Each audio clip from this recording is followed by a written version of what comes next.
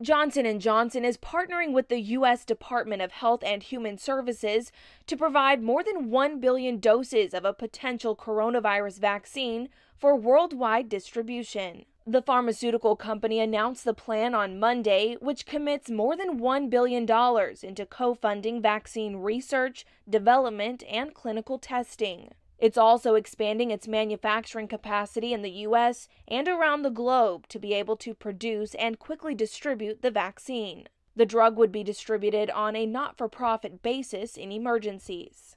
CEO Alex Gorsky said the world is facing an urgent public health crisis, and we are committed to doing our part to make a COVID 19 vaccine available and affordable globally as quickly as possible. Johnson & Johnson said it's been working on a vaccine since January and has found a lead vaccine candidate. The company says the timeline on developing this vaccine is substantially accelerated compared to typical vaccines. Johnson & Johnson is already working towards human clinical trials, which would begin in September 2020 at the latest. It's expecting a vaccine to be ready for emergency use by early 2021. For Newsy, I'm Johanna Grenaway.